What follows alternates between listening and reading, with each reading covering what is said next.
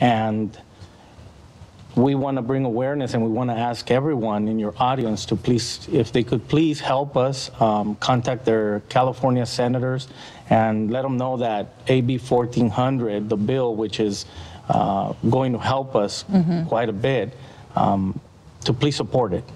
Uh, we, we do work that a lot of people probably wouldn't know we do.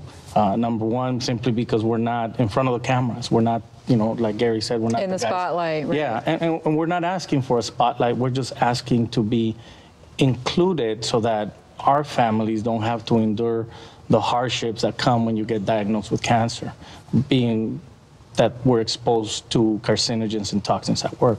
What sort of uh, support is given to the firefighters right now? Right now on the books, 47 out of the 50 states have a what's called a presumptive law for firefighters.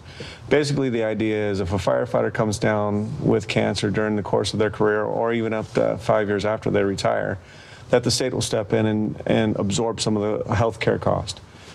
There is nothing for a fire mechanic. And so the, the idea is you're already fighting fire or you're already fighting cancer.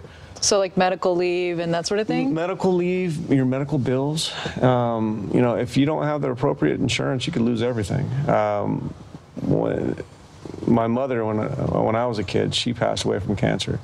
Then the insurance companies are so vicious when it comes down to it that they took the house we were living in. We were homeless for three years. Oh my God. And so, yes, she wasn't a firefighter or fire mechanic. That wasn't the direct connection there. But being that I'm very familiar with how the insurance agencies work, I don't want to see anybody have to go through that.